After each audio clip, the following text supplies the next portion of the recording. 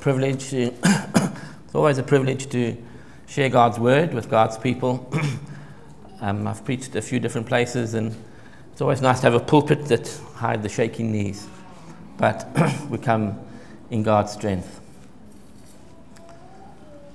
This morning, we're going to think about three questions as you look at the crowds. Three questions as you look at the crowds. as we look around, we see different objects. But as we look at the different objects, we can all see different things. Sometimes it's on purpose. We know some of these ambiguous pictures that you look at it and you see an old lady or you see a young lady or you see this or that, and the psychologist says it tells us something. They're designed to make us see one thing or another but a lot of other things that every day that we, we look and we see different things. We're watching a, a, game of soccer, and uh, your son might be amazing, being amazed at the skill of the players. He calls, curves that ball around the, the, the, the, the, the wall into the net. but his sister might just be thinking, he's pretty good looking might be with the wedding planner and planning the wedding that's coming up. And the mother, sees, she sees dresses, she sees flowers. The father sees the bulls. We can be clearing out the house and we find an old chair, an old table. One person will think, that's a lot of junk. We'll put it in the skip. And another can see the potential behind it if we keep it and restore it the beauty behind it. In our family, when we look at a, we have a maths equation. Naomi, who a lot of you know, she sees fractions, she sees denominators and numerators, she sees a thing of beauty. But my son Ben, when he sees a, an equation, he sees chaos and disorder. what do you see as you look at the crowds? our first question What do you see when you look at the crowds? Let's look at Mark chapter 6. We turn there together. Mark chapter 6.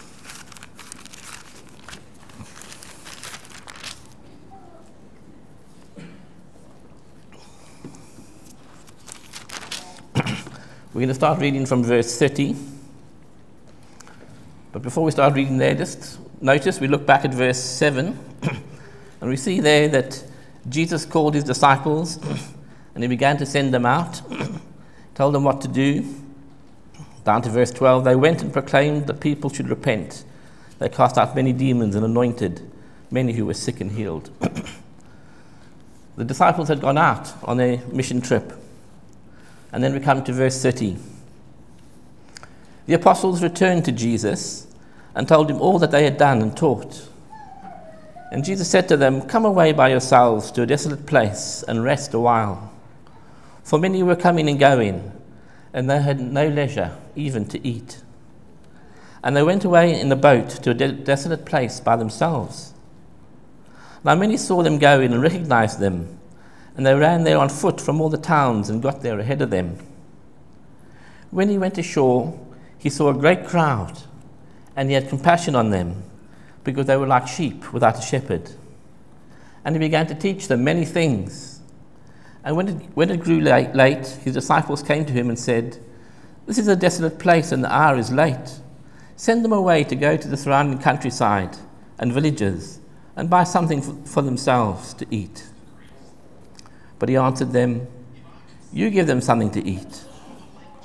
And they said to him, Shall we go and buy 200 denarii worth of bread and give it to them to eat?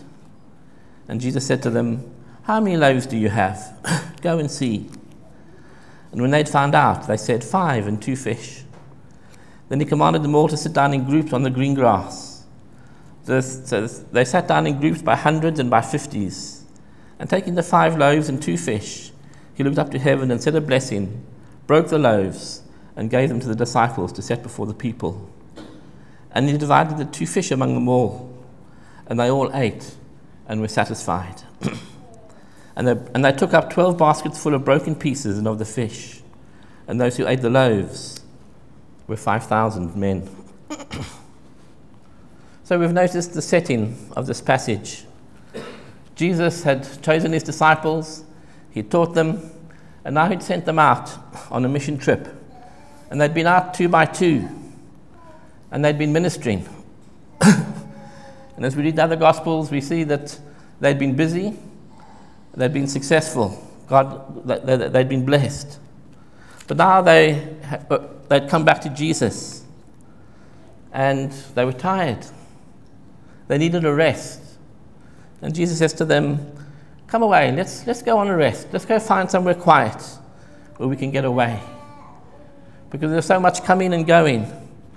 They had, no time, they, they had no time to themselves. They didn't even have time to eat. But where were they going to go? The crowd was there with them all the time. Um, and so they looked around, and there was a boat. and so they got on the boat to cross the lake. And I can imagine that the disciples relaxing. Sure, it's been a hard time. I'm looking forward to this rest that we're having. But they got to the other side and they hadn't got away from the crowds. When he went to the other side, he saw a great crowd. The crowd found out where Jesus was going and they'd followed him around. The message went out Jesus is here. And he was met by a large group of people. What did the disciples see? They saw a crowd of people who were disturbing their rest. They saw a large crowd of people that were going to need looking after, that were going to need feeding. As the day went on, the disciples said to Jesus, Send them away. Let them find food for themselves. It's time for us to have a rest. Let them go. The disciples saw a crowd who were a bit of a nuisance, who had spoilt their getaway, who would need feeding. But what did Jesus see? What did Jesus see when he looked at the same thing? He saw a crowd of people that were like a sheep without a shepherd. What does that mean? I don't know how many of you know sheep or have kept sheep, but sheep are pretty useless animals. They're good for eating, they're good for wool, but they're not good for much else. they get lost. They don't know the way home. They don't know how to look after themselves. They don't know where to get their food. They can't defend themselves. You know, and sometimes sheep lie down, their feet get up in the air, and they can't get up by themselves anymore. They have to be helped. Otherwise, they die. A sheep without a shepherd means there's no one to lead, there's no one to guide, there's no one to feed, there's no one to defend, there's no one to keep alive. Sheep without a shepherd are lost, they are leaderless, they are hungry, and they're at great risk of death. Jesus saw the crowds and saw people lost, people in great need. People at risk of death. What do you see when you see the crowds? When you see the people round about you going about their business? As we go out to the shops and the parks, what do you see when you see the people? We look, some, we look at some, and sometimes we see their situation in life where they are. Ooh, they've got a good job. They haven't done so well for themselves. I've made the most of, what, of, my, of life, they haven't. We look at some and we see their possessions. I wish I was like them. I wish I had what they had. We look at some and see their abilities. I wish I was good at football or rugby like they are. I wish I was good at schoolwork like they are, so I wouldn't have to work so hard. I wish I could preach better. I wish I had what they have a nice car, a nice house, a nice bank account. we look at them and we wish we had the same. We might look and we might not see them at all. There are hundreds and thousands of people around us. Do we even notice them? Do we even see them? Do we think about them? So often we miss them altogether. For us, they don't exist. For us, they have no concern. How often do we see them spiritually? As sinful people, needy people, lost people, people without hope, people who are dying. Jesus and the disciples came to the far side of the lake, and there was a crowd of people. The disciples saw a crowd who kept them from their rest. They saw hungry people who needed fe- feeding. They saw people who were a nuisance. Jesus saw people who were lost and in need, like sheep without a shepherd. How do you see the people round about you? Second question What do you feel about the people in the crowd, the people round about us? How you feel depends a lot about, on, on what you see. The disciples saw a crowd disturbing their peace, disturbing their getaway. They, they, they saw people who were a bit of a nuisance, and so they felt put out. They told Jesus to send them away to find food. The disciples felt helpless. What can we do? How can we find, how can we help feed these people? It's too much for us. Or we, can do, we can't do anything. Let's just send them away. The disciples felt indifferent, a bit annoyed, helpless when they saw the crowd. But what did Jesus feel? Jesus had compassion.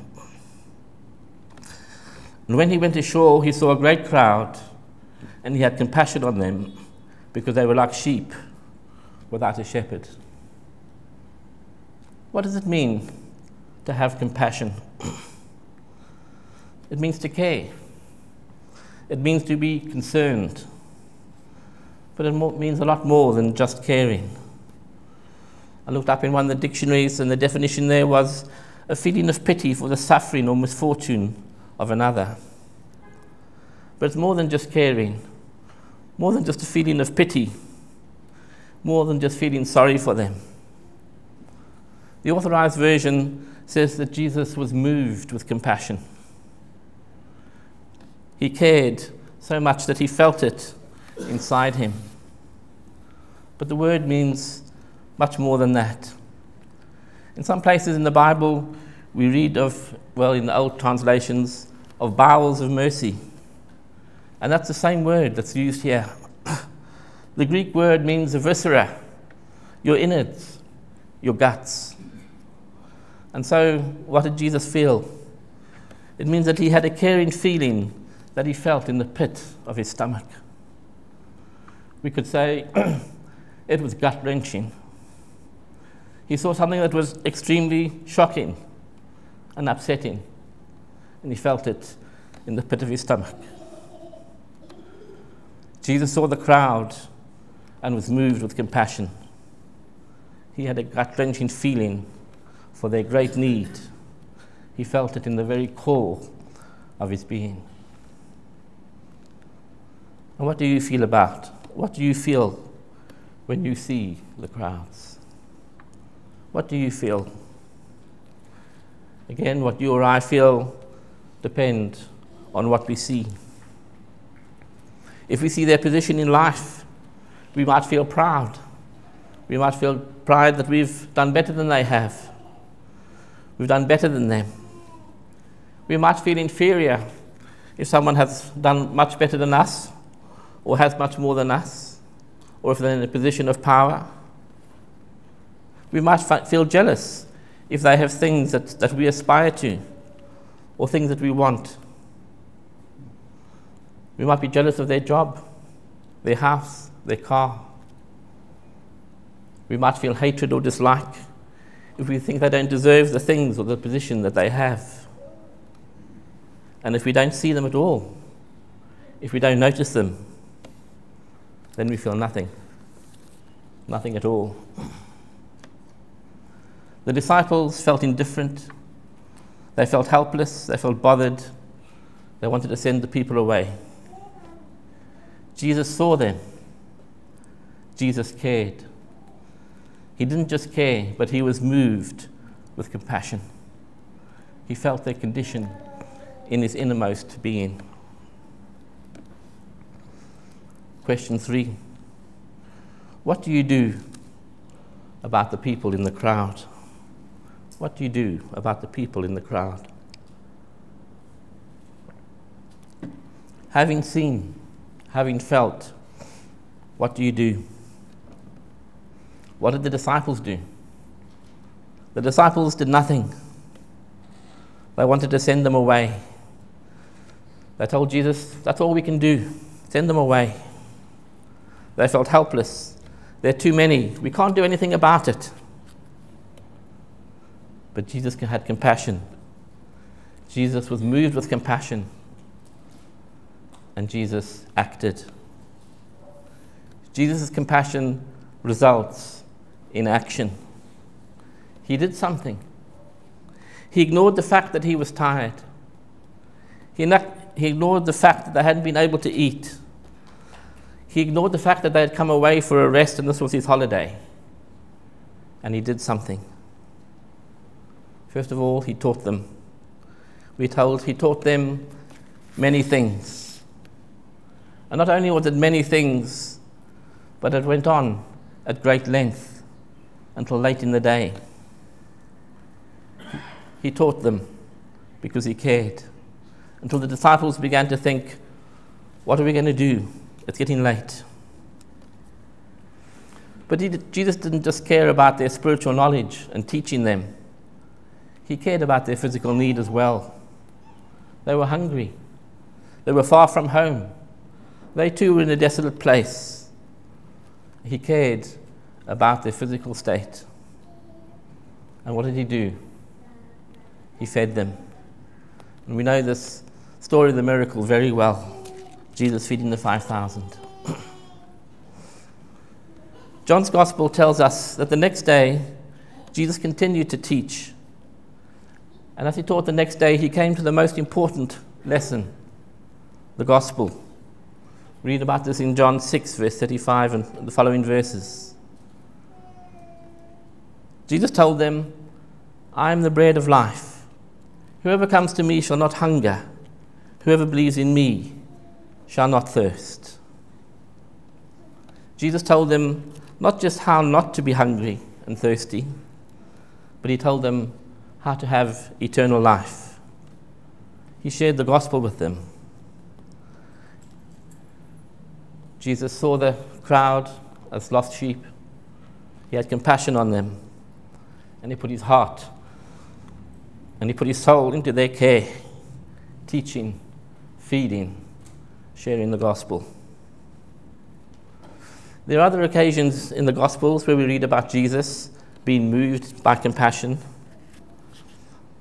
And in all those cases, Jesus also did something.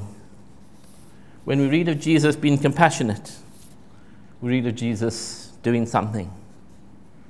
In Mark 1, verse 40, we read there about a leper. A leper came, beg- came begging to Jesus to be made clean. We know in those days, lepers were outcasts. People didn't want anything to do with them, people shunned them. But Jesus had compassion and healed him and made him clean.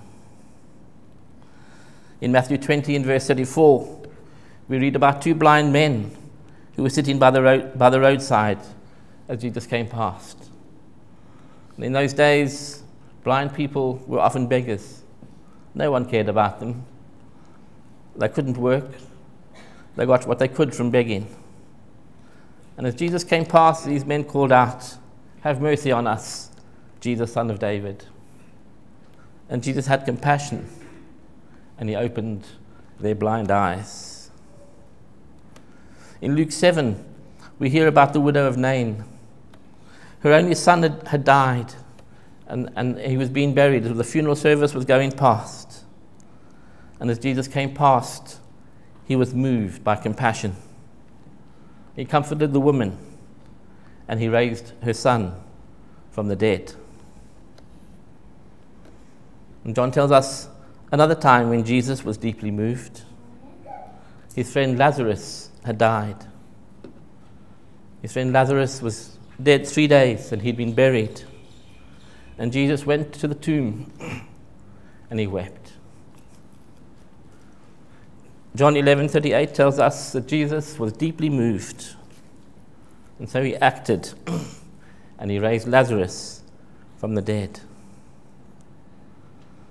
Jesus sees what is happening in the world. Jesus saw what was happening to people in his day. He was moved by compassion and he did something. He acted. He taught. He healed the sick. He fed the hungry. He made clean the leper. He opened the eyes of the blind. He comforted the bereaved. And he raised the dead to life. As we think of being raised to life, of the resurrection, we think of another example of God's compassion.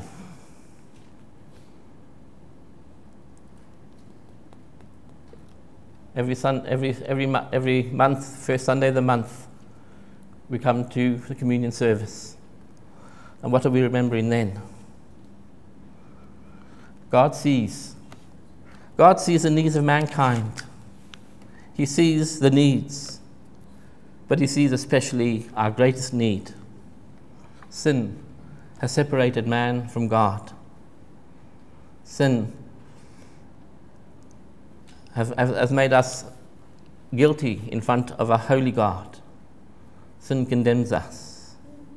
Sin has broken the relationship that we had, have, have with us, had with God. And that leaves people in a very bad position. Sinners before a just God, deserving punishment, deserving, de- deserving death. But God saw the problem. What did God feel? When he saw lost people, he felt compassion and he felt love. God loves. And God acted. Romans 5 tells us while we were still, while we were still sinners, Christ died for us. 1 John 4 tells us a similar thing. Verse 10 In this is love not that we have loved God, but that He loved us and sent His Son to be a propitiation for our sin. There was a problem. We were in trouble. God saw and God acted. But that passage in 1 John 4 goes on. There are consequences, there are logical conclusions. Beloved, if God so loved us, so we also ought to love one another. If God so loved us, so, so we ought also to love. What God has done for us, what Jesus did for us, should make us different. It should change the way that we think. It should change the way that we see things. It should change the way that we feel about things. It should, cha- it should change the things that we do. If we are Christians, we should be Christ like. So, what do you see when you look at the world? What do you see in the crowds of people round about you? Do you see the things of the world, the attractions, things to distract us? Or do you see the spiritual things? Do you see the state of the world? Do you see the people in it? Do you see them as lost sheep without a shepherd? What do you feel when you look at the people around about you? Do you have worldly feelings, jealousy, pride, anger? Do you feel anything? Or do you have compassion? Are you moved with compassion?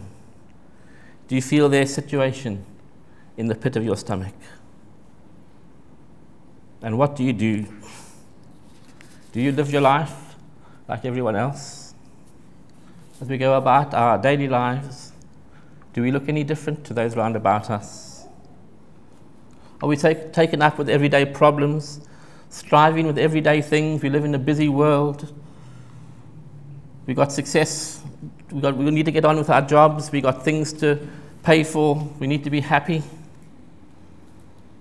Or do you love like God loves and act out of a heart of love and compassion? Do you feed the hungry? Do you comfort the bereaved? Do you teach the lost? Do you open blind eyes and help bring new life as you share the gospel?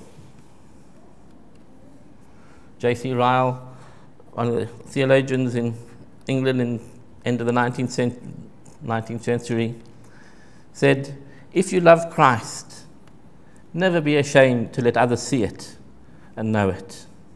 Speak for him, witness for him, live for him. Jesus saw the crowds and he was moved with compassion. He felt it deeply in his soul because they were like sheep without a shepherd. They were lost and they're dying. And so he acted. He offered them life, he offered them the gospel. Every month, beginning of the month, we're reminded of that. The communion service reminds us, as, as we need reminding, God saw us in our need. He was moved by love and compassion, and so he acted.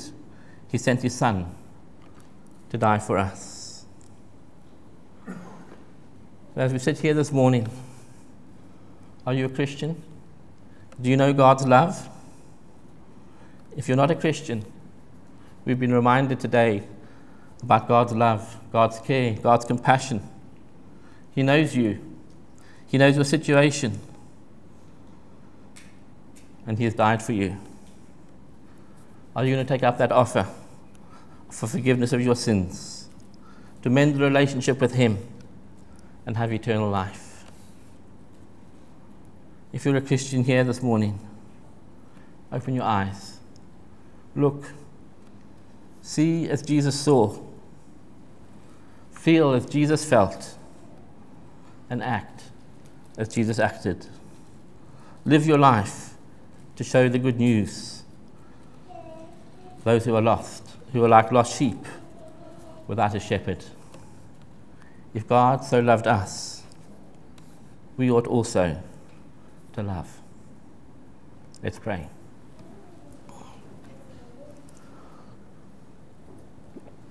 Heavenly Father, we just thank you this morning for your word.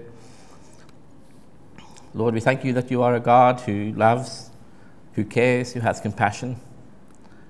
We thank you that you are a God who knows us and our situation. we thank you, Lord, that because you loved us, you came and you died for us, and you've given us new life. You saved us from death, from eternal, from eternal hell. And Lord, we just pray, Lord, that we will appreciate that. Lord, as your people, help us to see as you see, to feel as you feel, and to act. Father, give us a burden for the lost, I pray. For your name's sake. Amen.